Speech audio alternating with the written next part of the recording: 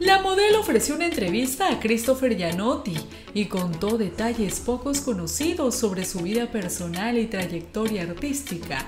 En el adelanto del programa que saldrá completo este jueves 15 de enero, Christopher pone en aprietos a Gabriela Serpa al preguntarle si alguna vez recibió alguna propuesta indecente. ¿Te han ofrecido dinero por una noche de placer? Preguntó el actor.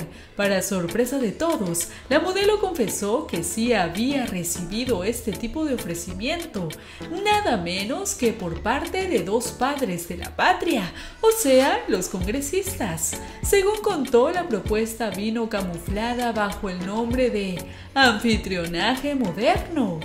Te cuento, de pronto recibí una llamada. Hola Gabriela, ¿cómo estás? Te cuento que te necesito para que seas una anfitriona moderna. Son dos congresistas, solo al hotel, nada más y mil dólares. Empezó narrando la actriz.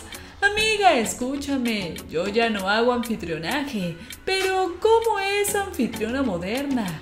Me respondió.